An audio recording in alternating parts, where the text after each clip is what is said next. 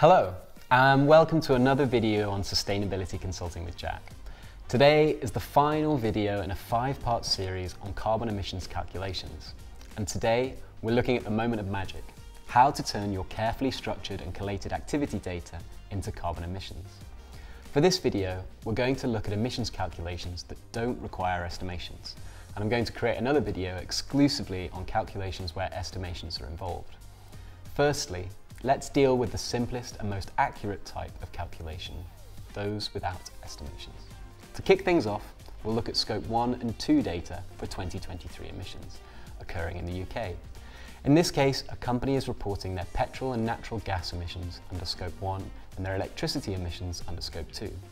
Firstly, we need to find the correct emissions factor for those emissions and the activity data we collected.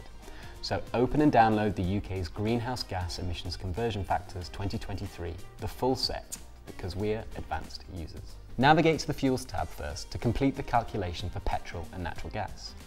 You'll be presented with a table that has different fuel types in rows and with different units in the columns. Find the emissions factor that matches your data.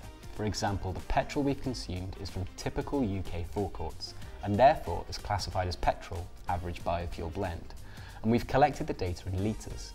And for this calculation, we want to calculate our overall carbon emissions in kilograms of carbon dioxide equivalents, or CO2e, which is a way of representing the global warming potential of all greenhouse gases in relation to carbon dioxide. So for this first calculation, we take the emissions factor in cell D96, which is 2.10 to two decimal places. But ensure you're using all the decimals listed to improve accuracy. Then take your activity data and apply this emissions factor, which should look something like this. During 2023, I consumed 150 litres of petrol, and to calculate the carbon emissions related to this activity, I multiplied this value by 2.10, giving us 315 kilograms CO2e. If I then wanted to present this data in tonnes of carbon, I need to make sure I divide this figure by 1000. Following the same process, how about you try to calculate carbon emissions for 2,750 kilowatt hours of natural gas?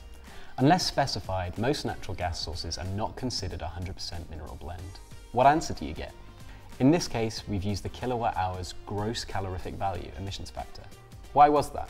I'll leave it up to you to find out. The answers are hidden somewhere in the instructions. Next, we'll take a quick look at the company's electricity emissions under Scope 2. In this case, we need to consider something called dual scope reporting, a process by which you report both the location-based emissions for your electricity and the market-based emissions. Location-based emissions means that the emissions are calculated based on your location, whilst market-based emissions are based upon the tariff you procure. This means you get to clearly report the benefit of the green tariff I know you've meticulously selected. For location-based emissions, the process is the same as before. For market-based emissions, you take the same calculation steps, but you use the emissions factor provided by your energy supplier. Once you've applied this methodology for all of your activity data and their respective scopes, you should be able to create your first ever carbon footprint, table or pie chart, and it might look something like this. That's all we have time for today but hopefully you're now in a strong position to create your first ever carbon footprint. Later down the line, we'll create more advanced videos on calculating carbon emissions. But for now, if you've any questions, feel free to leave them in the comments section below and like and subscribe for more content on sustainability consulting. Thank you.